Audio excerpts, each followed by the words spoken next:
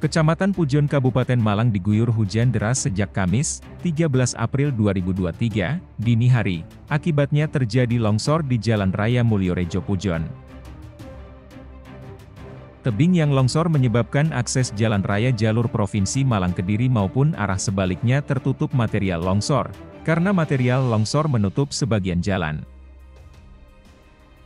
Akibatnya lalu lintas sempat terganggu sebelum akhirnya material longsor dibersihkan petugas.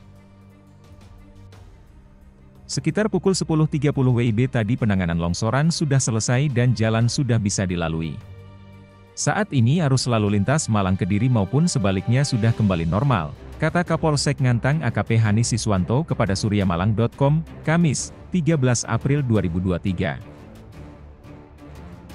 Meski sudah dapat dilalui dan lalu lintas sudah kembali normal, Hanis menghimbau para pengendara yang melintas agar hati-hati dan waspada karena kontur tanah di lokasi yang masih labil.